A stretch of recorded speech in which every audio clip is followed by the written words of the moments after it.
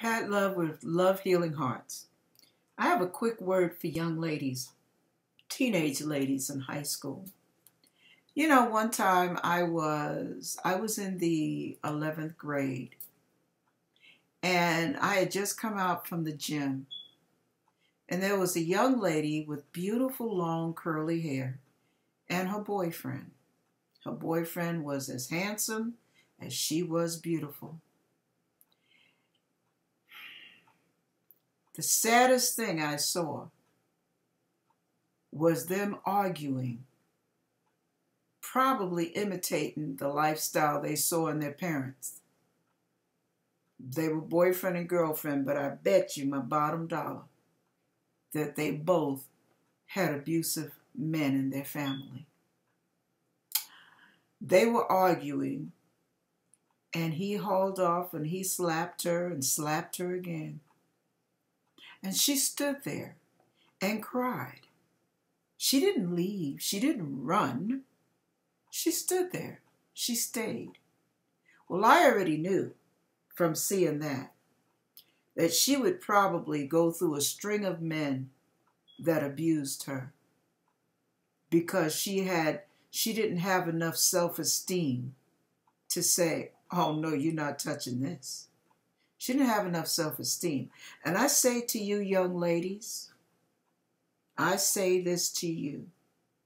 If they act like they want to slap you, if they threaten to hit you, if you don't shut up, I'll knock you on your behind. You cut that sucker loose real quick. If you have a father, that's a good one. You let him know.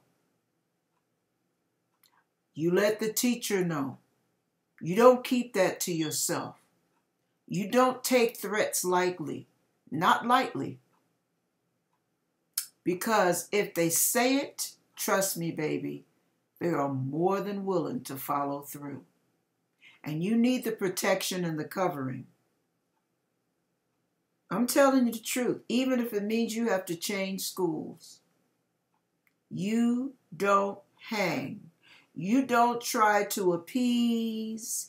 You don't try to win the favor of a fool. I don't care how cute they are. I don't care if they're on the football team, if they're the most famous one in the 12th or 11th grade. You get your heels to click it and go the other way.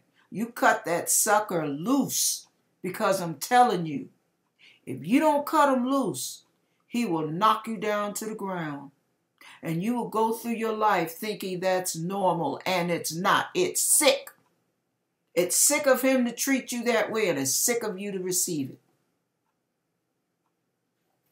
What's worse is sick of you to stay and get it repeatedly done until you start having internal bleeding and internal injuries and all kind of mess and you have no self-esteem left and you're like a trapped elephant. You won't run away even though the door's wide open.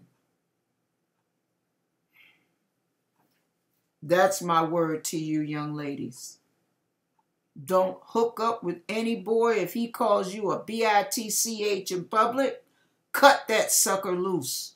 If he calls you stupid in front of his friends cut him loose. If he calls you stupid in private, cut him loose. Anybody that talks to you, treats you with disrespect, you don't need him. What do you need him for? Too many fish in the sea, baby. You don't need a fool. Fools come a dime a dozen. You don't need that.